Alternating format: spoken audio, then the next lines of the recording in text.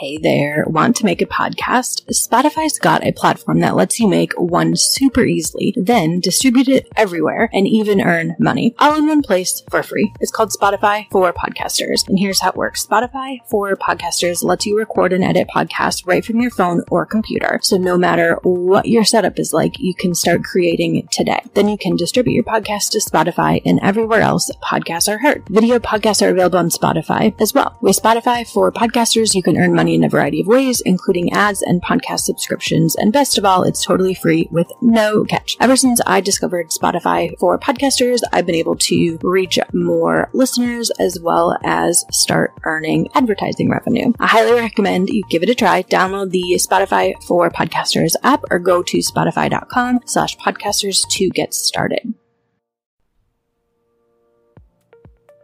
Hey guys, how are you? I hope you are having a fantastic day.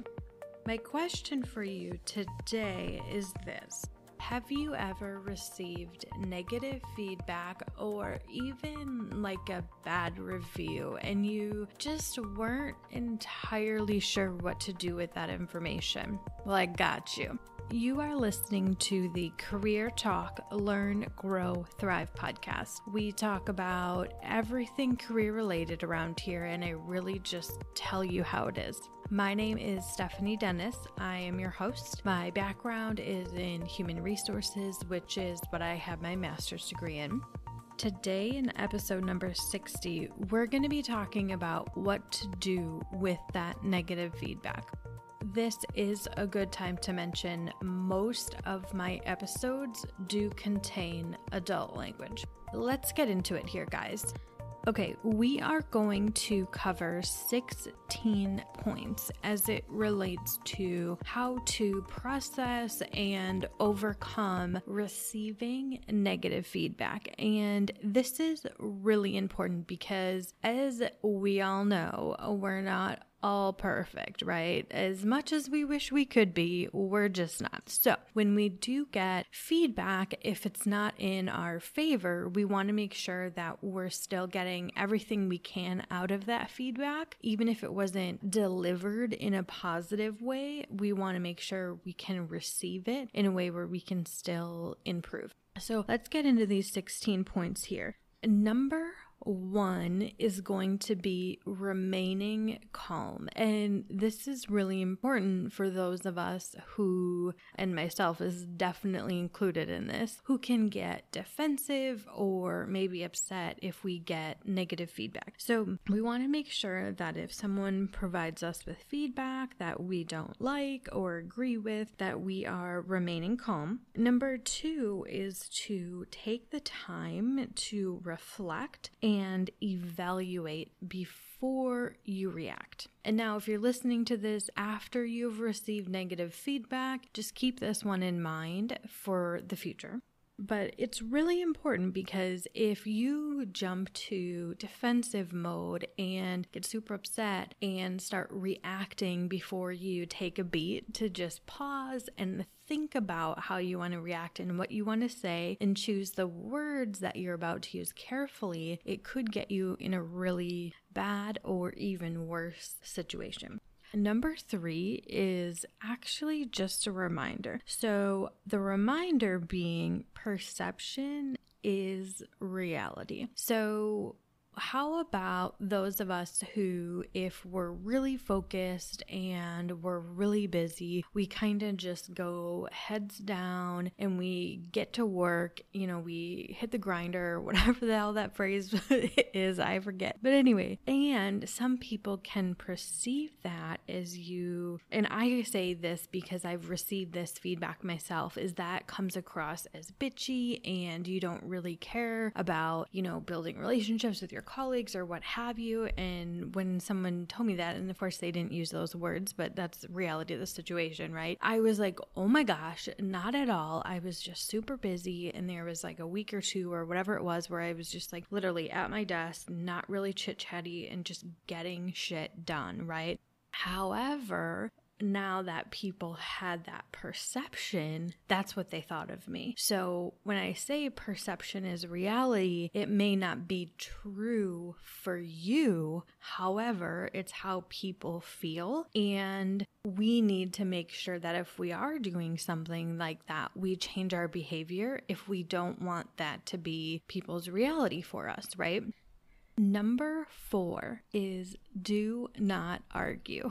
And this one, even for myself, can sometimes be challenging because, again, bouncing back to a couple of the other ones that we already talked about, sometimes if I'm getting negative feedback, my knee jerk reaction is to get defensive. And if you're defensive, that might come across as you arguing. And we definitely don't want that to be the case. We want to be the people who can receive feedback, even if it's delivered really poorly. We want to be able to receive feedback well. Number five is to know this feedback is a really, really good thing. Even if we disagree with the feedback that we're getting, there's definitely going to be times that we get feedback and we definitely don't agree with what's being said. And it's really important to know that the feedback is still valuable because, again, going back to perception is reality, if that's how someone sees you or feels about you or what have you, right? Then there might be some truth to that. And that is our opportunity to take a minute. Okay, number six is looking at the data. So let's say you've received feedback around let's say performance. So maybe you're in a sales position and you were told that you're the bottom of the team or the last on the team or what have you in terms of sales, goals, numbers, metrics, all that good stuff. So it's really hard to argue with numbers and data. So whether it's true or not, right? Maybe someone just thinks you're at the bottom of the list, but maybe you have numbers to back up the fact that you're not, or you're doing really well and you're hitting and exceeding your Or maybe that data does show that that is indeed true. And then you need to, from there, if you know you're in the right role, don't let that deter you from being able to move forward and do well. So, here's an example. If you are that sales rep, you're last on the team, all of your numbers are okay or maybe poor, they're not great, they're not fantastic. Maybe you're 80 or 90% to your goal. And that unfortunately puts you at the bottom of the list, right? When you're compared to your other uh, teammates or colleagues or whatever. So, if you know this is the role you're meant to be in, you're happy with your job, you love what you do, don't let that put you in a rut that's going to deter you from being able to crush it next week, tomorrow, next month, you know, all the other numbers that you're shooting for. Number seven is ask a lot of questions. So if you get negative feedback, again, these aren't defensive questions, these are genuine curiosity questions. Maybe you got the feedback that people perceive you as someone who isn't approachable. You are, you know, stuck in your own little world and people are offended by that. You can ask them follow up questions you know, it can even be something like, how do people prefer I communicate with them? How are other people communicating with the rest of the team in a way that makes them feel more comfortable? Things like that. So it's not defensive, but you're genuinely trying to understand where they're coming from so you can do better. And that leads really well into number eight, which is learn. So ask your questions, take the time to understand and learn so then you can further, you know, improve from there.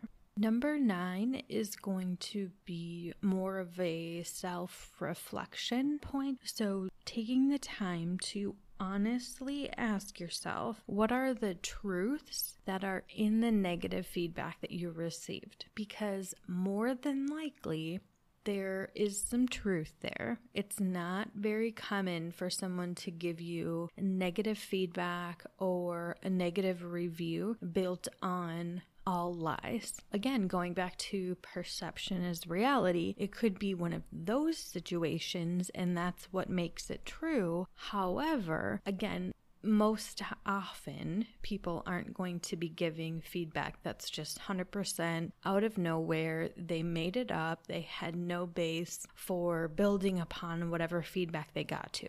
So ask yourself what are the truths involved in this feedback? And number 10 is going to be asking for help if you need it. And now, most of us, I mean, definitely not myself, I'm totally kidding. I'm totally guilty of this. I have a little bit of a hard time asking for help. And it's not that I think I know more than anyone else. It's for me, it comes from a place of wanting to be the person that other people go to. And sometimes that gets in the way. Like, I get in my own way when I need help, it takes me a little bit longer to get to that realization. So you can take my bad habits and learn from them. and I'm totally cool with that. So if you're confused, if you're stuck, if you're not entirely sure what to do next, don't be afraid to ask for help. And it doesn't have to be a colleague who is familiar with the situation. And oftentimes that might even get you into a bigger confusion or could get messy, I guess is what I'm trying to say. You can ask, you know, a friend that doesn't work with you. Maybe you have a mentor. You can consult the Google machine. There's been plenty of times where I was like, what the hell do I do here? And I Google it. So there's a lot of different places you can go for help. Maybe it's your family. I don't know who it is for you. Uh, you know who that person might be, but just don't be afraid to ask for help. Number 11 is asking yourself, and not even really yourself, uh, but asking others what your blind spots are. So, oftentimes we have what we call blind spots or areas of opportunity or weaknesses or things to improve upon, depending on how you want to phrase it and we don't know what they are. So I would encourage you if you have negative feedback that makes no sense to you, it feels like it's out of the blue, you don't understand where it's coming from, and you ask the person who gave you that feedback some follow up questions, and you're still like, what the hell? And you're just totally caught off guard, I would encourage you to go to a couple friends, a couple family members, and ask them what your blind spots are. And more than likely, they're going to be able to tell you some stuff that you may not know or may not have thought about. And that might help you connect the dots to that feedback. Number 12 is to create a plan to improve. Now, you might want to create that on your own. You might want to work with your manager. You may want to work with the person who gave you that feedback if it wasn't your manager, maybe a friend or a family member. I don't know who you want to work on this plan with, if anyone, but you definitely, if you're getting negative feedback, you want to make sure that you're creating a plan to improve. So, either improve the negative behaviors that are indeed happening or even improve the negative perception that's happening. Number 13, and this one is more so if you're working with a manager to create an improvement plan, and this is to set clear expectations and goals moving forward. So if you've gotten yourself to a point where you're on like a formal uh, performance improvement plan, so a PIP, sometimes people call it, uh, there's many other terms for it, but you want to make sure that you have very clear expectations and very specific goals that you have set in place for you to achieve to make sure that this is no longer an issue. Because if they're fuzzy or unclear expectations, it's going to be harder to prove on paper, right, that you've actually improved. Number 14, and this one again, more so if you're working with someone at work or a manager or supervisor or something like that, is to set follow up progress conversations.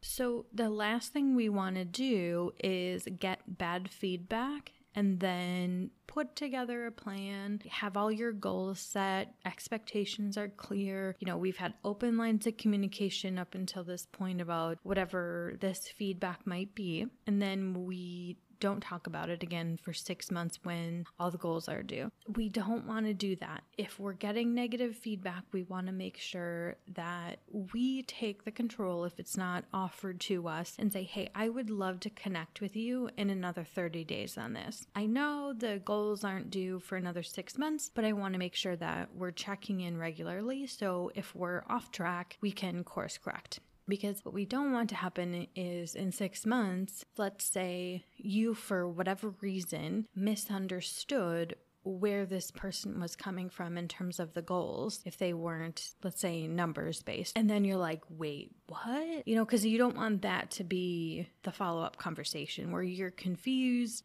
You might feel misled. You might feel confused. And probably frustrated. And then that's when we might get defensive and then it might just go south. so we don't want that. We want regular check ins. Number 15 is more of a reminder. And if you need to vent, try and make sure it's not with work colleagues. And I know this is really hard, and I've definitely been guilty of this. However, it is unprofessional. It could ruin someone else's day and then they're going to go vent to someone else about something else and it just kind of snowballs into everyone just being like blah for the day which can roll into a week which could then roll into kind of a negative team culture and i know that sounds a little bit dramatic but I've seen it where people are going through, and when I say people, I mean teams, are going through a hard time or something that's difficult, and it just snowballs out of control until everybody just doesn't even want to get up to go to work anymore. And that's what we definitely don't want. Number 16, also another reminder.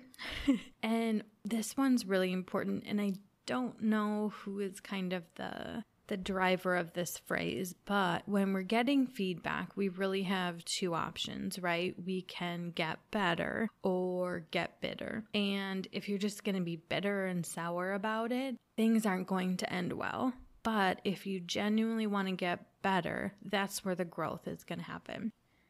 So, those are my 16 points that I have for you as it relates to feedback, receiving feedback, specifically that negative feedback. And if you want to either read or even listen to a good book on this, hopefully I say this name right, Sheila Heen, I believe, and Douglas Stone have a book called Thanks for the Feedback. And this I listened to say it was like a year, maybe two years ago now. But I saw her talk at one of the Global Leadership Summit conferences, and I really, really was impressed. So check it out. I personally listen to it on Audible, but if you listen to audiobooks somewhere else, you know where to go. so go there. I really liked it. Anyway, all right, guys, that is it. I hope you found this information helpful, valuable, something that you can take away and learn from.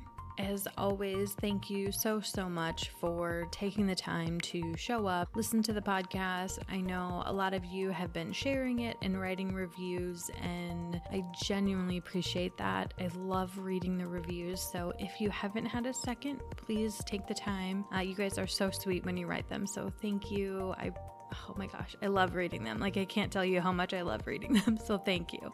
Uh, you can find more information and then the show notes over at the website. So, findingthebestfit.com. And then also, I don't know that I've mentioned it in a while, but we do have a Facebook group for the podcast. So if you have some questions or you just want some support on something, definitely click in the episode description or head over to the show notes for the link and you can post your questions there or just network with other people who, you know, want similar support. So it is a safe place. So nice people people only. and there are rules in there, of course, about just posting nice and being respectful, but we'll just put that out there. All right, you guys are awesome. Thank you so much again, and I hope you have a kick ass day. Bye bye.